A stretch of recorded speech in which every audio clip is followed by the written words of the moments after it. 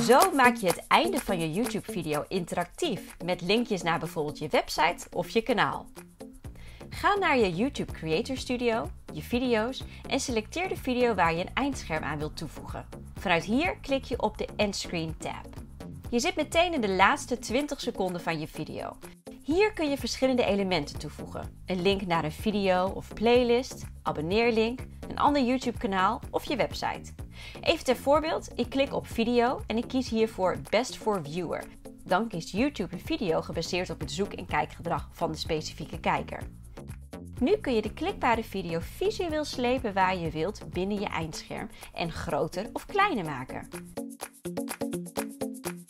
Je kunt op precies dezelfde manier andere linkjes of een abonneerknop plaatsen en zo je eigen eindscherm vormen. Meer hands-on videomarketing tips? Download het gratis hoofdstuk uit het boekje Videomarketing in 60 minuten.